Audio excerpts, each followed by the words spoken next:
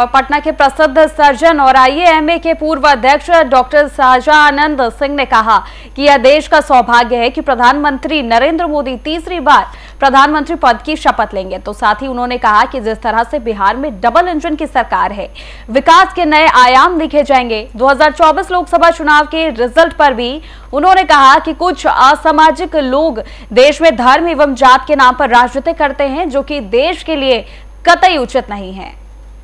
बहुमत के आंकड़े से जो है एनडीए 19 सीट आगे है फिर से एक बार हैट्रिक लगाने के लिए प्रधानमंत्री नरेंद्र मोदी तीसरी बार हो सकता है नहीं लेंगे शपथ लेंगे। हमारे साथ इन्हीं सब मुद्दों पर बात करने के लिए प्रसिद्ध सर्जन एवं डॉक्टर डॉक्टर सहजानंद सिंह जी हैं। सर।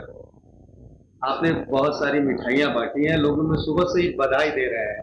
क्या लग रहा है फिर से एक बार नरेंद्र मोदी? फिर से नरेंद्र मोदी जी प्रधानमंत्री बनेंगे यह देश का बहुत सौभाग्य है जो प्रधानमंत्री फिर से बनेंगे। इस तरह का प्रधानमंत्री न कभी हुआ न होने की उम्मीद है। जिस तरह से इन्होंने मेहनत किया इस देश के लिए देश विदेश से जिस तरह की उनकी चर्चाएँ हैं मैं तो उनको सैल्यूट करता हूँ।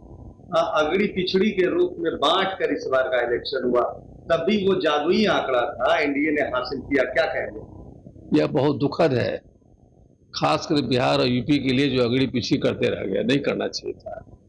प्रधानमंत्री के इलेक्शन में भी अगड़ी पिछड़ी उन्होंने किया। और उनको लोग वोट नहीं दिया।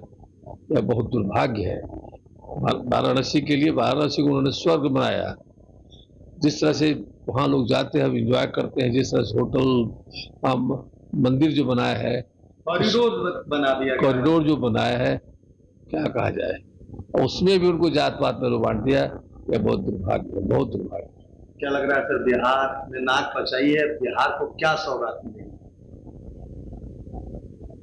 बिहार को यदि मिलजुल कर रहेंगे। नीतीश कुमार जी से बहुत उम्मीद है। नीतीश कुमार जी प्रधानमंत्री से मिलकर रहेंगे। बिहार का बहुत प्रोग्रेस होगा और आगे का भी अधिक मिलजुल कर रहेंगे। तो तो बिहार विधानसभा में भी लोग अच्छी सीट आएगी तो देखिए, ये थे डॉक्टर शाहजानंद सिंह जिन्होंने साफ़ तौर पर कह दिया है कि केंद्र की मोदी सरकार और बिहार की नीतीश सरकार मतलब डबल इंजन की सरकार अगर रहती है बिहार में, नीतीश कुमार साथ रहते हैं तो विकास के नए आयाम गढ़े जाएँगे। बने रहिए रफ्तार मीडिया के साथ। पटना से मैं सुधेंद्र रमन।